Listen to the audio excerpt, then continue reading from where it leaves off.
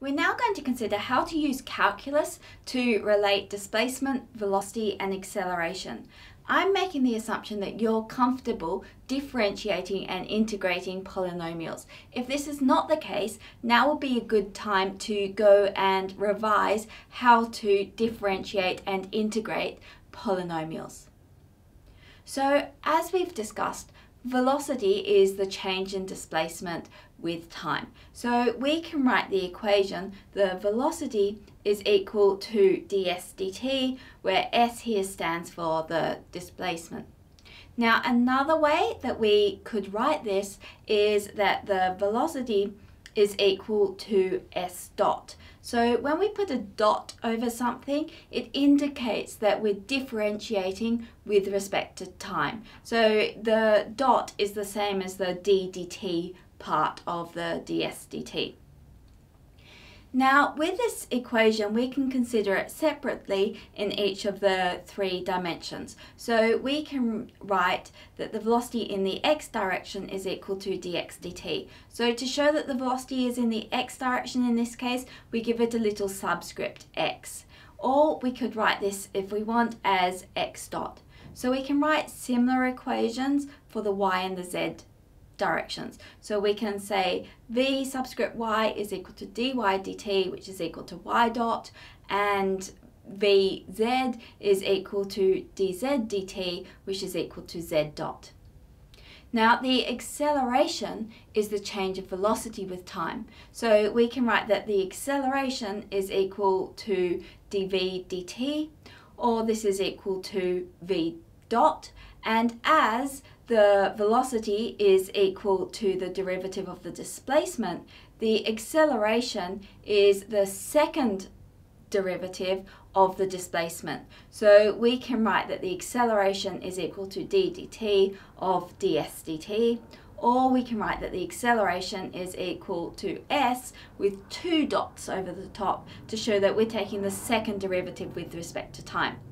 And again, this is true in each of the three dimensions. So we can write a subscript x standing for the acceleration in the x direction is equal to dvx dt, or we can say it's equal to d squared x dt squared.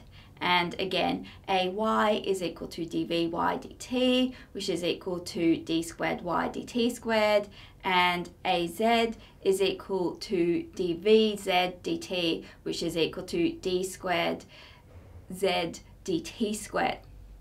So let's have a look at an example problem now. The displacement of an object is described by x is equal to 5.0 t squared plus 3.0 t plus 2.0. Part 1. What is the original displacement of the object? Part 2. Write an expression for Vx.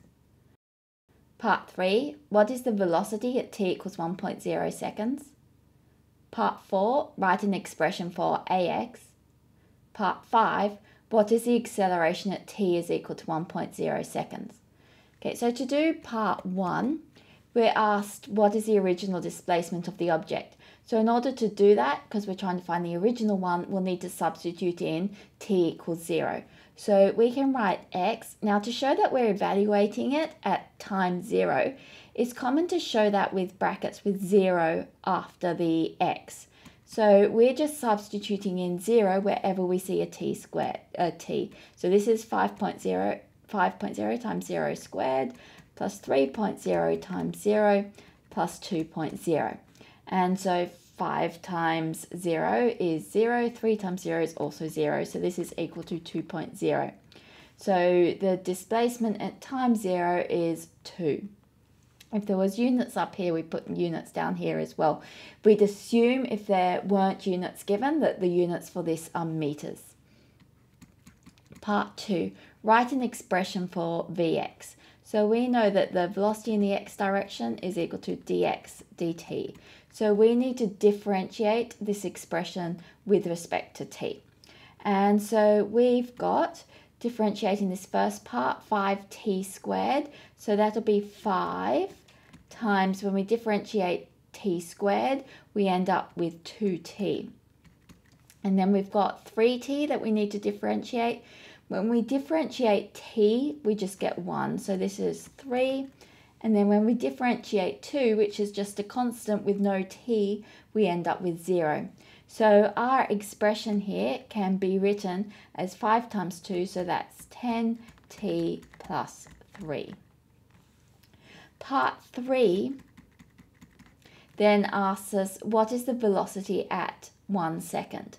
So we'll show that we're evaluating it at 1 second with brackets after our Vx and now we just need to substitute 1 wherever we see a t in our expression for Vx. So we've got 10 times 1 plus 3 which is equal to 13. Part 4, write an expression for ax. So we know that ax is equal to dvx dt. So we just need to differentiate our expression here for vx. So when we differentiate 10t, differentiating t just gives us 1, so we end up with 10. And then when we differentiate 3, because that's a constant, we end up with 0. So our acceleration is equal to 10. Part V, we then need to find out what this is at 1 second.